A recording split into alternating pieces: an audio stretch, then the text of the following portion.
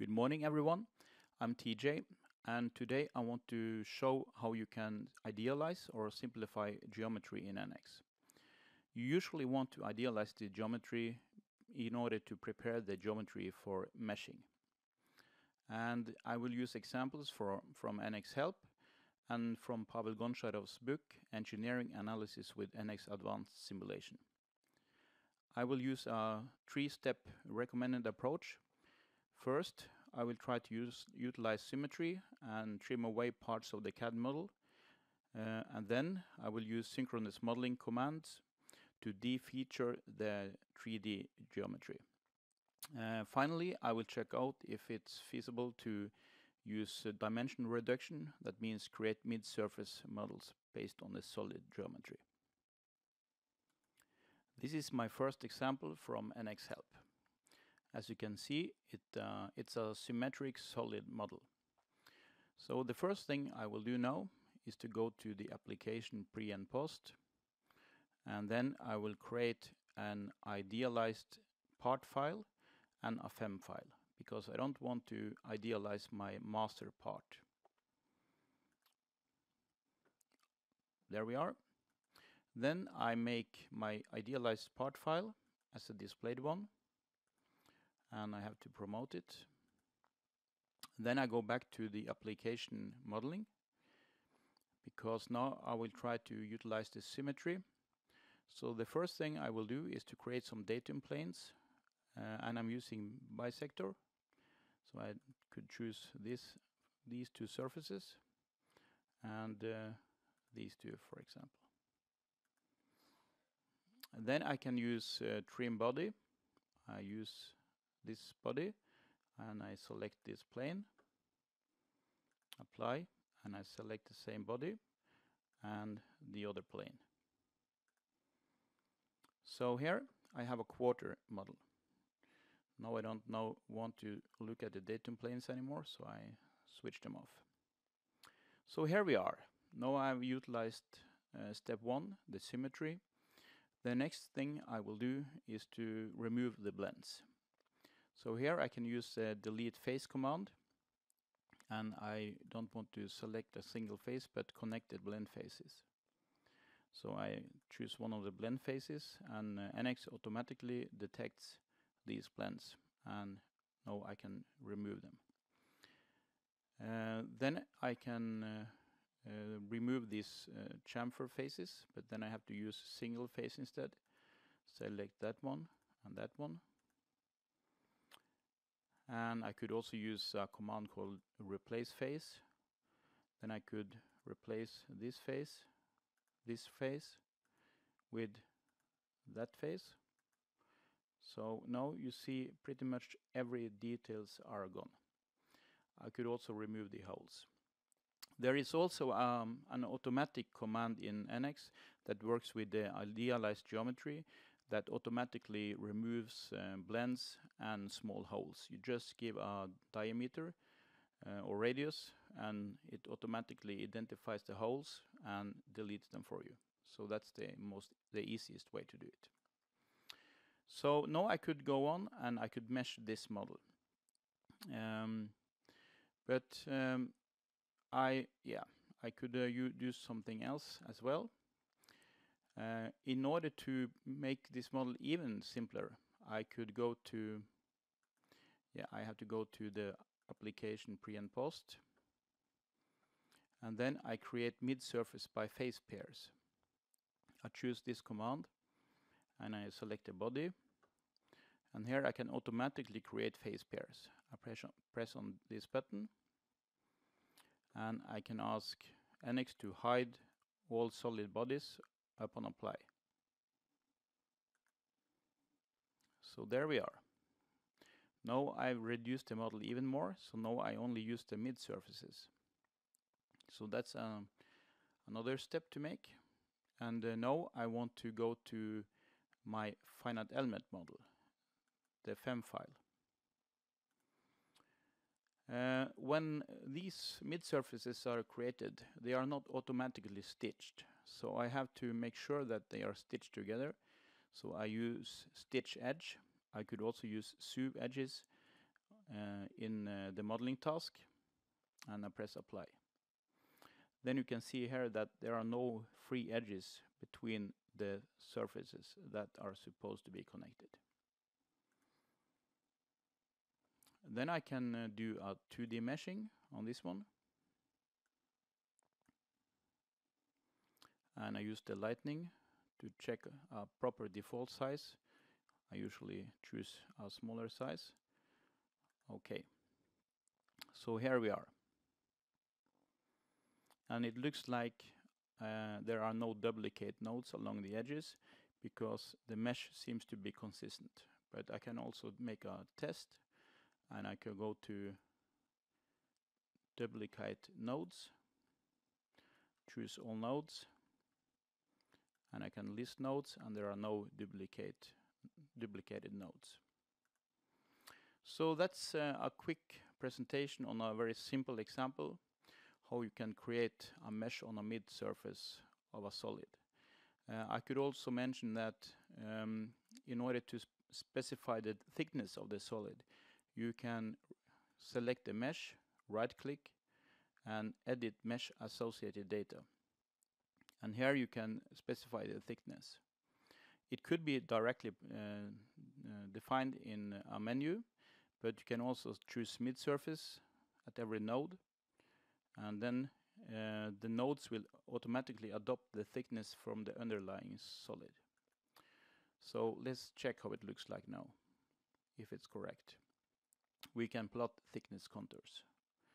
And here you see that the red flange was 20 millimeters thick, the blue uh, ribbon was 10 millimeters, and the green uh, tube was 15 millimeters, so that's correct. My next example is from engineering analysis with NX Advanced Simulation by Pavel Goncharov. And you can see the example presented in chapter 2 called Preparing a Geometry Model. Uh, this is the model and uh, as you can see it uh, knows symmetry here so we can cut away the model and simplify it that way. What I want to show you is how you can create uh, or prepare this model for mapped or swept meshing in NX. Uh, in the book, um, Pavel is showing how you can create mid-surfaces, but I used uh, my first example for that purpose. So what I will do now is to go directly to the synchronous modeling uh, features and I will select delete face. Uh, the first thing I will do is to remove this one. I simply remove all faces and it's gone. I cut away or remove those faces too. I can easily select all blends in just one command, but here I want to control what I'm doing. So I study each face because I want to partition the model so it can be swept meshed by solid brick elements. So I remove all blends and I think they are gone. I could remove the holes, but uh, I select to keep them. So that's it. Now I've idealized geometry and I want to go to my application task pre and post and I want to create a new FEM model. Since I've already uh, idealized the geometry, I don't cre create an idealized geometry file. I choose the default options.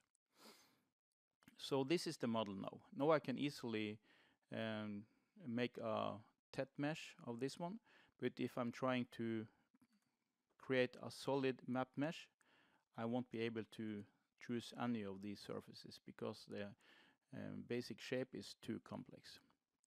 Uh, so what I have to do is to go back to, well, I have to activate the part file I have to go back to the modeling application and I create datum planes.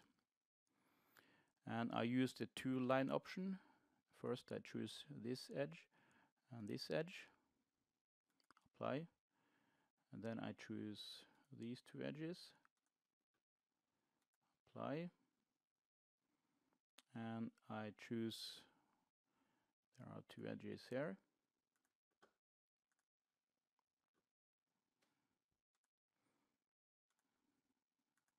there we are. And I need another two um, planes.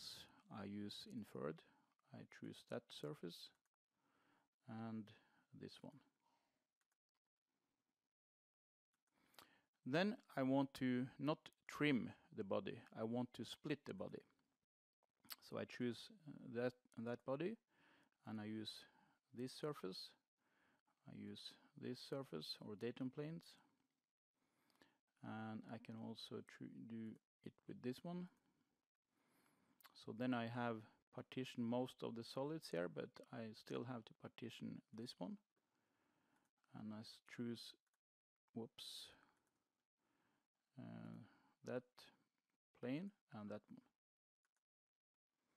okay so now you can see I put, separated the bodies so I have different bodies here and then I'm fine. I press Ctrl W and I get rid of the datum planes. I don't need them anymore. Then I go back to my application task pre and post and I want to display the FEM file. I get a message that the model is actually partitioned. After the partitioning, uh, I am now able to use the 3D swept mesh command to create hex element meshes of the individual parts or instances. So here you see I could choose one of the surfaces and it will create a shell type of surface mesh which will be swept across the thickness of the uh, solid primitive. And I just choose use the multi-body infer target and then it will automatically find the opposite side of the 3D solid. I don't need to guide it. Sometimes I have to, but not for this geometry. So there we are. We have a hex mesh. Uh, the problem now is that after the partitioning, these uh, solids are not glued together. So if I check duplicate nodes and I choose all nodes you see there uh, there are duplicate nodes along the common surfaces I could merge the nodes and that would uh, solve my problem but the best practice is here to use mesh mating which try to uh, um, remove the duplicate nodes or connect the element meshes from the individual primitives. So after gluing, I press apply. Now it's glued. Then you can see that I'm prompted to update my FEM model because after the mesh mating, it will try to uh, remove duplicate nodes and make a consistent mesh all over my geometry. So now, if I try to check duplicate nodes once more, there is no issue, no duplicate nodes found. So that shows best practicing in partitioning or idealizing geometry for mapped meshing. My last example is also uh, shown in chapter 2 of Pavel Goncharov's book. It's a solid uh, geometry and uh, it's a quite thin-walled uh, geometry so you could use both uh, mid surfaces and uh, shell meshing here or solid meshing. Uh, I want to show you how you can easily idealize geometries like this using the, the idealized geometry command applied on idealized part files. So here I will first go to the application pre and post. I choose my geometry file and I create a new FEM and uh, idealized part file. Then I make my part idealized part file as the displayed file and I have to promote it. Then I'm ready to apply um, synchronous modeling commands, uh, which are the most common choice here. So I could use delete face, as I did in the previous example, connected blend faces, and apply. But there are still lots um, uh, of, um, of blends here and the next way to to get rid of those is to apply the command um, insert model preparation idealize. So here I can easily select the whole body and I can automatically detect and remove blends of a certain size. So here the radius is set to 2 millimeters.